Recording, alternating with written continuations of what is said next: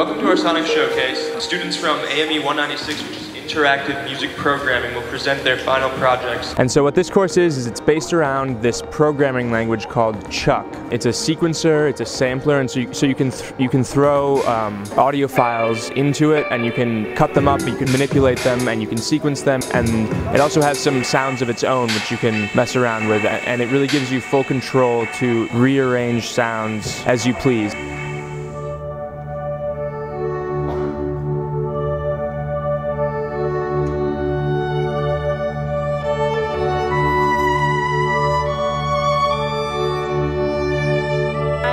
A digital media studies major and digital media has a lot of overlap with the audio music engineering program.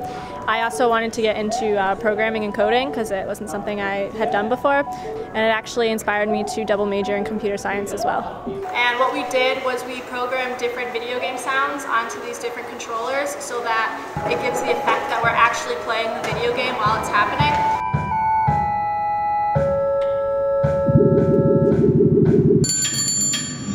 I thought it might be cool to use ChucK to just make soundscapes.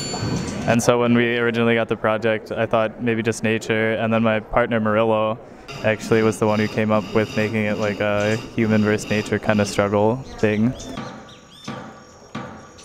I'm actually a computer science major, and so I just wanted to take it for fun because I like music and I like programming, and so I thought I got to do both, and it was a good experience for me that's what you'll see a lot of today is interactive um, things where, where people are using you know keyboards or yeah leap motion controller which is really cool. You just use your hands in the air um, to control all sorts of sounds. I was in the program last year in the physics of music and I saw what they were doing for this concert last year and I like the idea of technology and music. I feel like not enough musicians use technology and music and I wanted to learn more about how I could do that.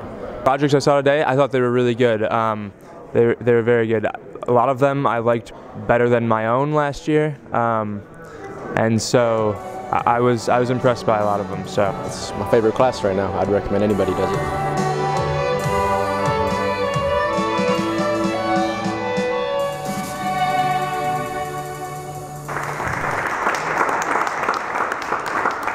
A production of the University of Rochester. Please visit us online and subscribe to our channel for more videos.